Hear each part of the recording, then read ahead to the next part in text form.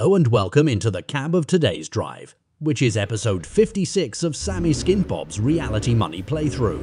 Following on from the last delivery, which Sammy delivered a consignment of goat's cheese to Rosmark in Munich.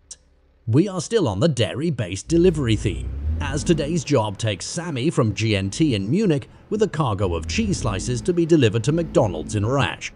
A total journey of 212 kilometers, or for the Brits out there 131 miles, whilst being paid a handsome 122 euros or 102 pounds in old money. Our mode of vehicle provided by the company is a new Mercedes Actros.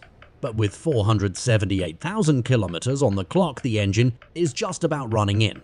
The interior is clean and it has GPS, so it has been well looked after. It is currently 1.40pm and this journey should last around 3 hours give or take a few minutes. As we all know, we cannot predict what the crazy stunts the AI traffic will perform in the trip. I am a bit miffed because I thought that I would have had some time to go and grab a bite to eat. I have not eaten since we left Munich and I am bloody starving, but I suppose that as we are going to a Mackey's, they might throw some free food our way. Saves me some money if they do. What do you think? Thanks a lot, buddy, for letting me through. Well, if it is of any interest to you, Sammy, I just seem to have a ham and cheese sandwich here. You can have it if you want. Thanks, but no thanks. I have seen enough cheese over the last few days to last me a lifetime. Well, Sammy, back to the job at hand. You have not told the viewers which route we are taking. Would you like to do it for once or should I do it again? Look, I do not do maps and stuff like that. I am not that bright. I just follow what the sat-nav tells me. But if you want to explain it, then boom, go for it. You bloody said it thicko. What did you just say? I did not hear you. Oh, it was nothing, Sammy. I was just thinking about the route. Sammy, we are currently heading west on Autobahn 8 heading towards Stuttgart, and then we will be heading north on the 7 toward Kassel and Frankfurt. When we get to Wurzburg, we will then head east on the 6 towards Nuremberg and we will be heading at the town of Aurach to finish our delivery. Okay, whatever you say, don't make a difference to me.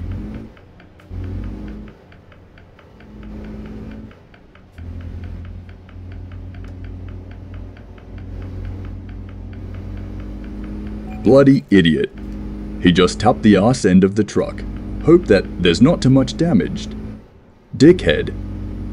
Sammy, you mentioned in the last episode about you and Fat San breaking up and that she had been having an extramarital affair with Dippy Frank, as you referred to him. Let's go a bit further on this, if you don't mind. What was your relationship like with aforementioned Frank? How did you get on with him knowing that he was father to some of her children? You are right.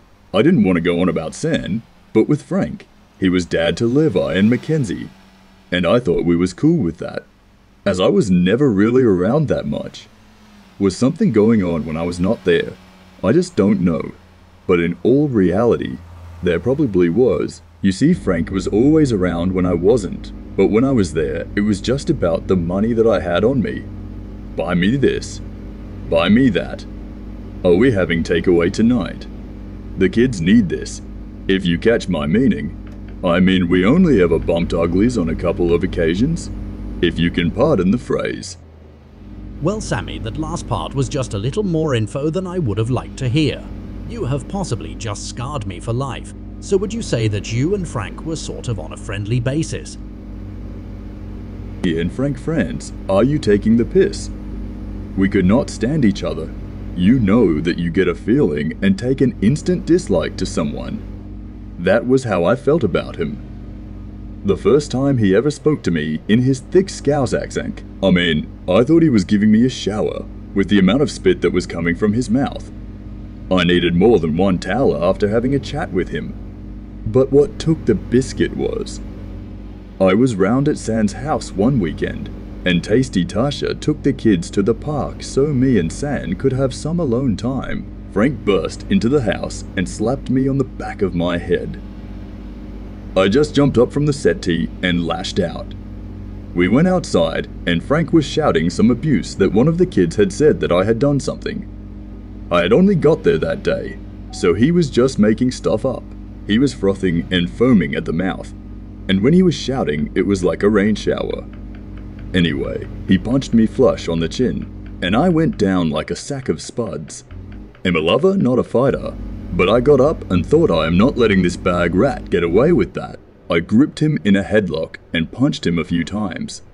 But I had to let go because the smell of sweat was making me want to vomit. Sam then started on me and told me to uff off back to Manchester.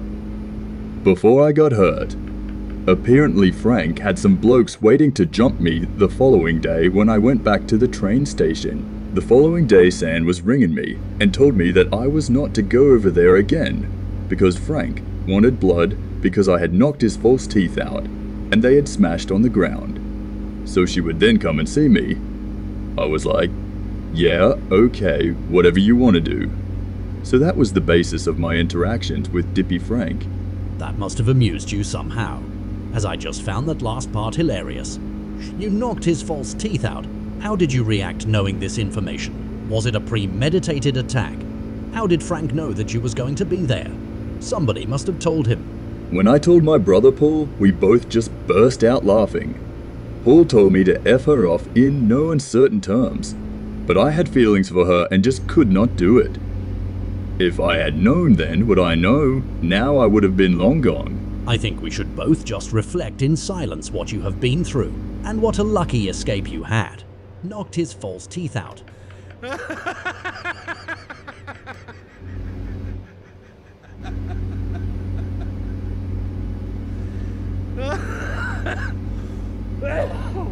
Please hit that subscribe button. And like with a thumbs up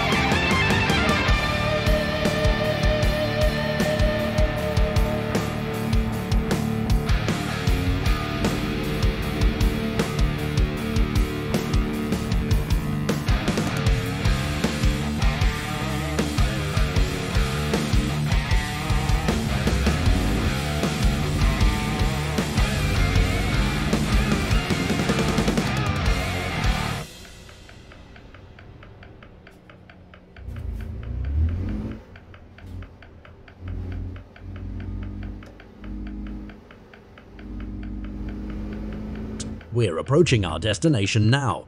Looks like Sammy has quite an easy parking, so let's see if he can scam some free food. Don't forget to subscribe and like until next time, happy trucking!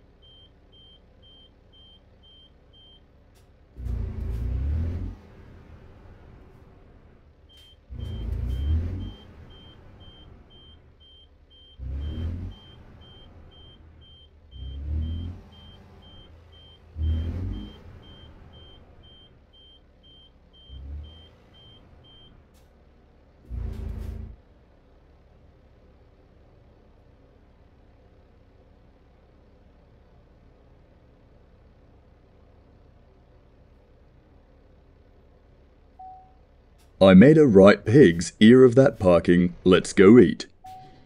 Sammy signing off by